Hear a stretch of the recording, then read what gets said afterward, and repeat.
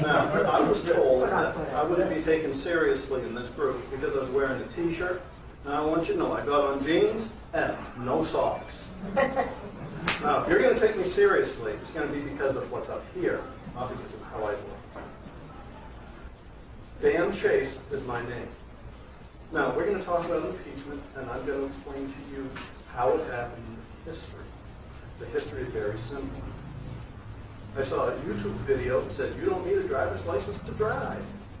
And I thought, that's stupid. And then I went, but what if he's onto something? So I watched. He was stupid. I saw several more that were stupid. And then I saw one that wasn't stupid. A man by the name of Eddie Craig said the traffic laws don't apply, and all you've got to do is look at the definitions and you can prove it. And I said, everything else has been stupid. I'm going to prove this guy wrong. 1,000 hours later, not a typo, 1,000 hours later, I couldn't prove him wrong. And I tried. So I said, okay. By the time I had 10,000 hours in research, I'd gone to court for two traffic tickets, very minor. One, I drove up to the police officer and said, would you write me a ticket? It's on my YouTube political page. I acted with honor and integrity. I talked to the police officer to give him more of my defense so he could destroy it before trial, a week or three. And he told me the DA wanted to drop charges. That's how good my research was. I went to the Maine Supreme Judicial Court. It cost me about $500 to appeal a $50 ticket. It wasn't about the money. I wanted to impeach every last Mr. Bean video justice on the Maine Supreme Judicial Court for le- acts of legal malpractice, including, but not limited to, applying overturned cases as good law, violating Supreme Court precedent from the United States,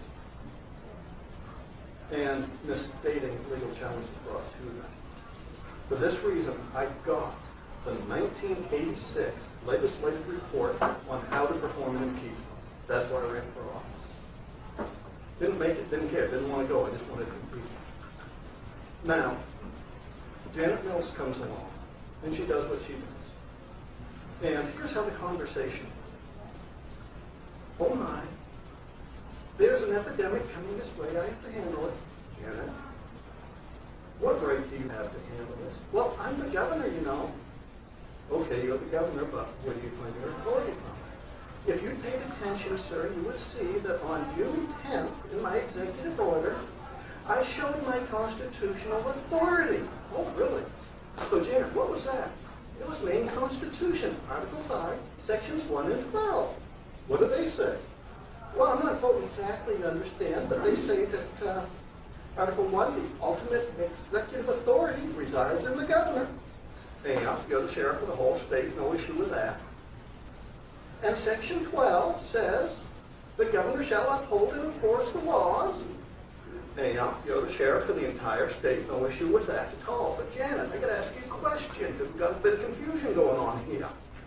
Now, I understand you've got to uphold the laws and enforce the laws, but in your executive orders, it plainly says, if you don't do what I say, I'm gonna put you in prison and I'm gonna take your money in a fine. Now, doesn't that require it to be a law or a regulation or both? Well, mm, yes. Where in the Constitution do you have authority? Because there is an exception here and after stated in Maine Constitution, Article 4, Part 3, Section 1, that says the legislature has sole authority to pass laws and regulations. So where did you get that right from in the Constitution? Wait a minute. I said I can enforce the laws. Yes, ma'am, we understand that. But how can you create laws? And if it's a law and has prison time, it has to come from the legislature. And you can show me the part of Maine's constitution that says the governor can create laws in this situation. And I've never found it. Can you tell me where that is? Mm, No. Janet, I tried, but no. Now, if there isn't any right for you to pass laws and regulations, on what authority are you doing it? Well, there's a statute. Do you realize, Janet, that a statute can't be written in violation of the Constitution? And if it is, it cannot be upheld by any law enforcement member of the executive branch, including the governor. Well, that's news to me. You're a lawyer, Janet. You're with the AG. I know you know this. Now, where do you get the right? Well, I had to do something. No, ma'am, you didn't. You see, when you look at it, the has the duty to protect the health and safety of the people. How do I know this? Because the Supreme Court said so in 1905.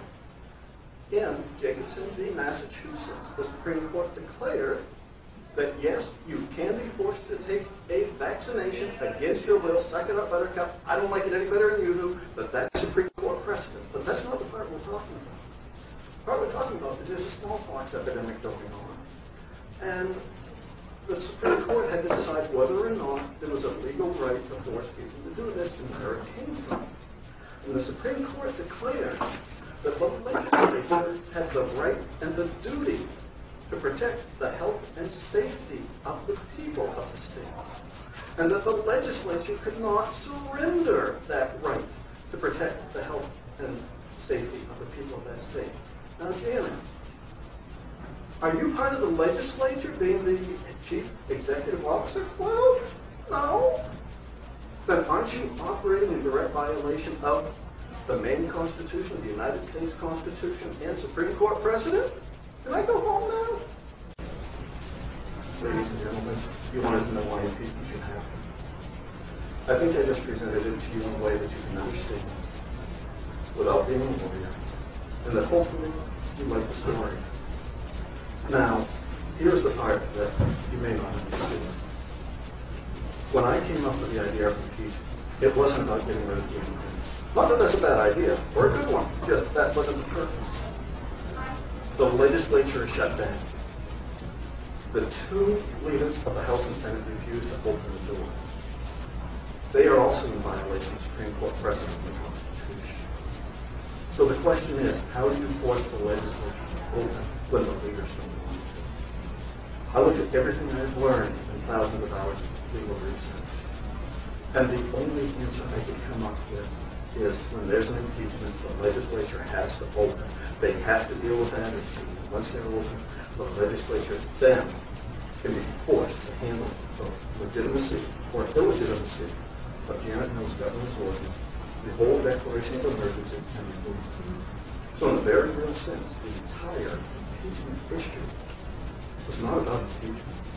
It was about getting the legislature. Too bad we do not have many Republicans who are willing to think outside the box and strategy. That's it. That's the story. Nothing else. All right.